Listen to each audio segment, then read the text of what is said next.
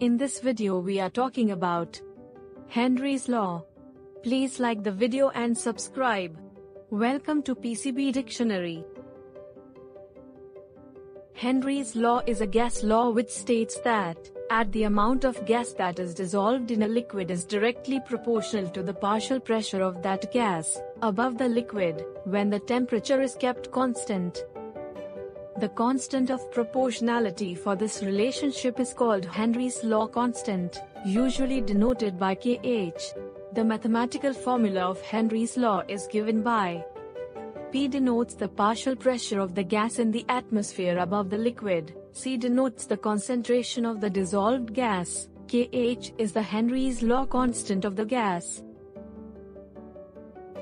Please like the video and subscribe the channel. Don't forget to press bell icon. You can also download our app from Play Store.